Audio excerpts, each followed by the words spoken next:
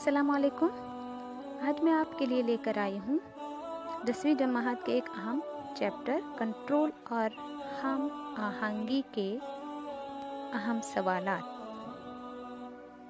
सबसे पहले आइए तीन मार्क्स के सवाल इसमें सबसे पहले पूछा जाएगा, इंसानी दिमाग का खाका बनाकर जेल के हिस्सों को ज़ाहिर कीजिए। पिछले दिमाग का वो हिस्सा जो गैर अख्तियारी अमल को कंट्रोल करता है और दिमाग का वो हिस्सा जो मुख्तलिफ़ रिसेप्टर से हिस्सी जान को हासिल करते हैं।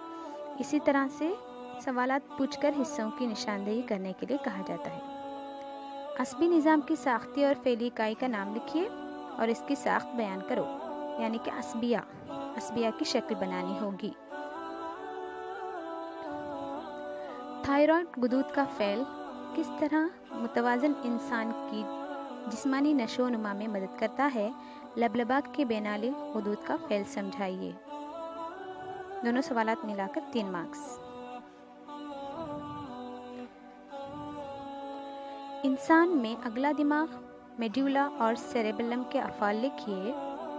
इस तरह से दीगर अफ़ाल एक एक मार्क के लिए पूछे जा सकते हैं, यानी तीन मार्क के लिए तीन अफ़ाल।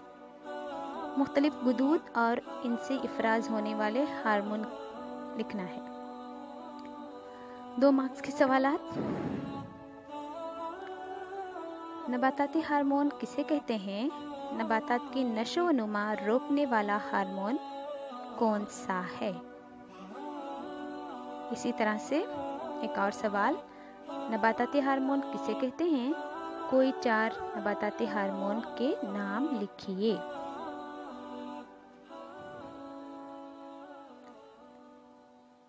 मरकज़ी अजबी निज़ाम और मुहिती अजबी निज़ाम में कोई दो फ़र्क बताइए।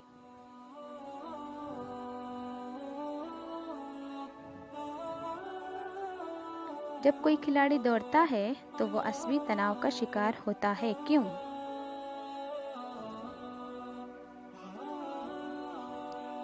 एक और फ़र्क, किस अजू में कंट्रोल और हम आहंगी की ज़रूरत है?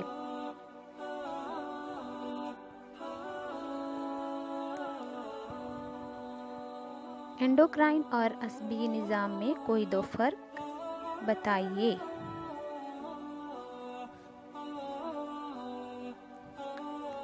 अब एक मार्क के अहम सवाल सबसे पहले, पिछले दिमाग के तीन अहम हिस्से कौन से हैं? असबी निज़ाम में मानका से क्या मुराद है?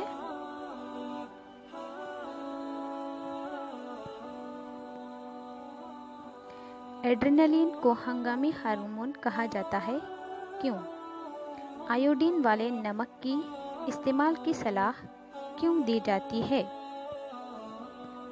फलों के पकने और पत्तों के मुरझाने के लिए जिम्मेदार हार्मोन कौन सा है?